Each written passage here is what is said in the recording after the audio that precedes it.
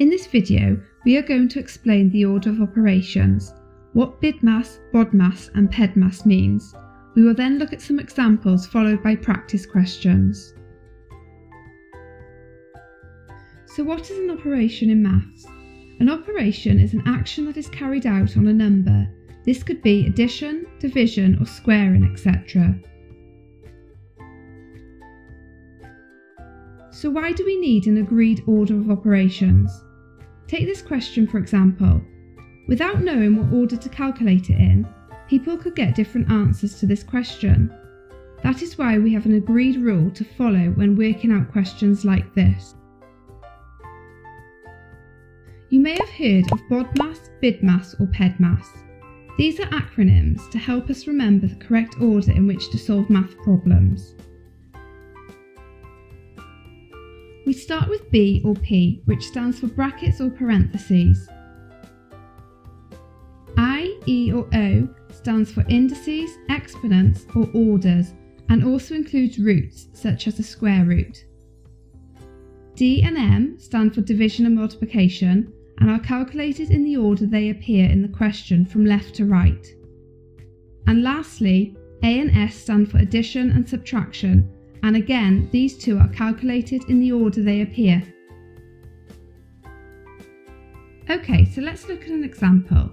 Here there are no brackets, no indices, no division, but there is a multiplication, so we calculate this first. Next we carry out the addition to solve the question.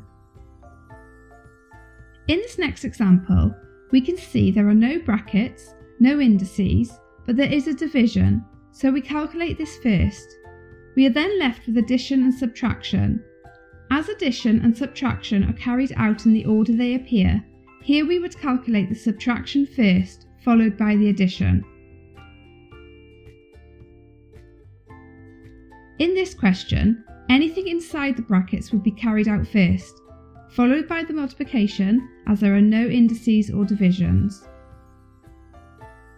For this example, there are no brackets, however there is an index number, so we work this out first.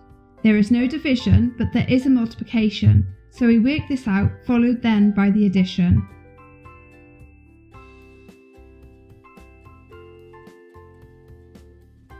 Which one of these would have an answer of 16 if we follow the BIDMAS rule?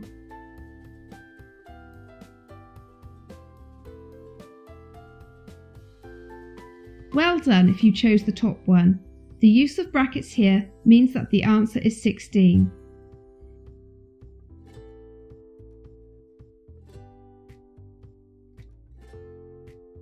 Here are some practice questions. Pause the video and use the BIDMAS rule to calculate the answers.